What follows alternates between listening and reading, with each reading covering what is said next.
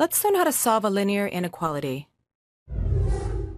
For example, let's solve the following inequality for v and write our answer in interval notation. Now, for the most part, when we solve linear inequalities, we proceed in the same way as we do when we solve linear equalities. However, there is one difference which we'll see. Let's begin by getting the negative 7 to the right-hand side, or we'll add 7 to each side.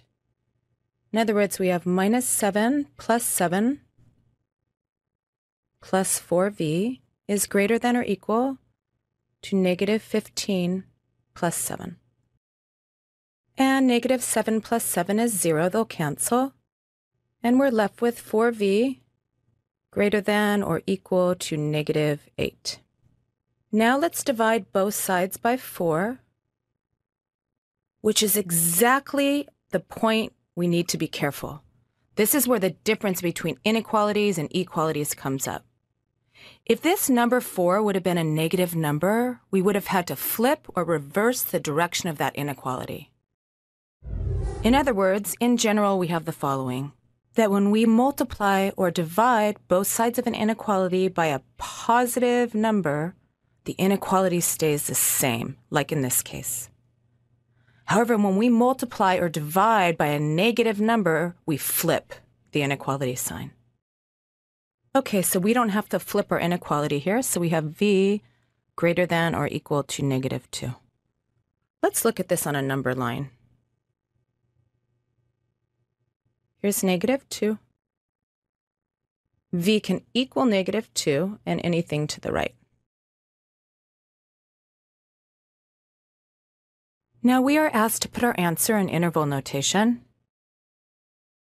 Doing this, we have close bracket, negative 2, because we want to include negative 2, up to positive infinity, which would be our answer. All right, let's see another example.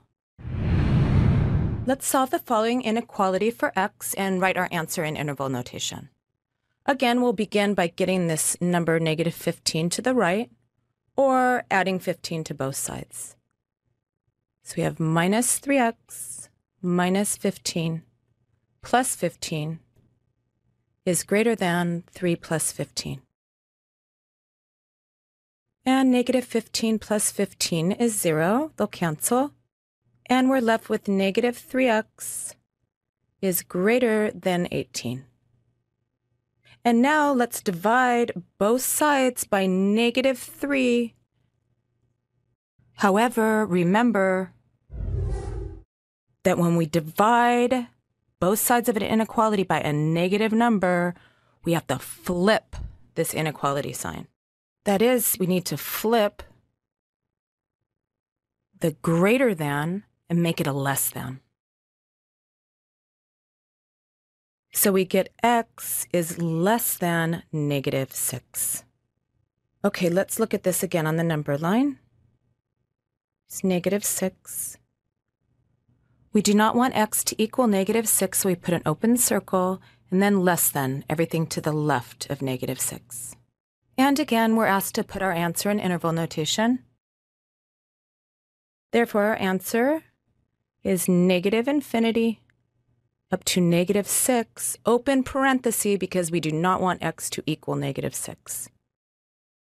Now, if we didn't want to worry about dividing by this negative, we could have started just a bit different here. We still have the same inequality, minus 3x minus 15, greater than 3. But then if we bring the minus 3x to the right, or add 3x to both sides, and bring the 3 to the left or subtract 3 from both sides, what do we get? We have minus 15 minus 3 is greater than positive 3x, or negative 18 is greater than positive 3x. And now when we divide, this number is positive, so we don't have to worry about the inequality flipping.